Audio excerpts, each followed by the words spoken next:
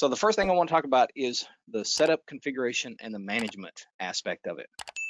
And one of the things that comes up, not as much now as it used to, but is arc and circle smoothness. So you'll notice as I zoom in on some of these arcs, instead of looking smooth and contoured like they should, they're very jagged. If I'm zoom in on this one, it's a very jagged display. There's a couple of things that can clarify or, or rectify this situation. One of the things is the graphics acceleration or the hardware acceleration. So if I go to graphics performance, I can turn on the hardware acceleration. And for the most part, that will uh, circumvent this situation. However, we have seen on some of the Intel cards that come with a lot of laptops tends to cause issues. The, the Intel cards are not a very good card uh, to, to run any kind of CAD software on. So turning that on sometimes can cause some problems. So there's one option, but it may not be applicable. The other option is in the AutoCAD options. So I'm going to go into the AutoCAD options. A couple ways to get there. OP and enter will take you to the options.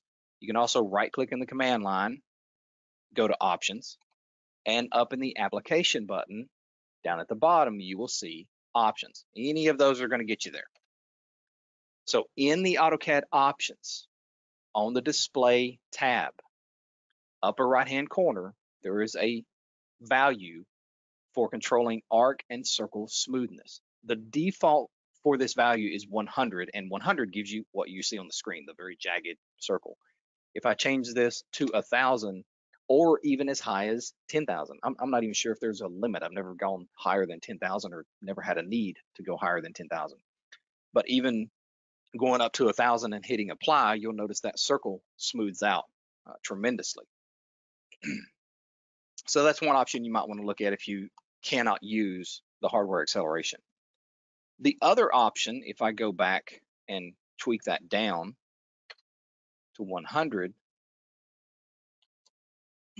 when I zoom in, the other control you have is to use the regen command. And what regen does, again, RE is your quickest way to get there, or you can type out R-E-G-E-N.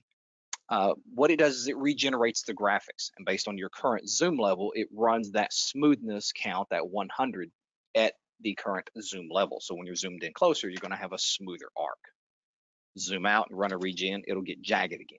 So there's a third option uh, to tweak that and control that and change it.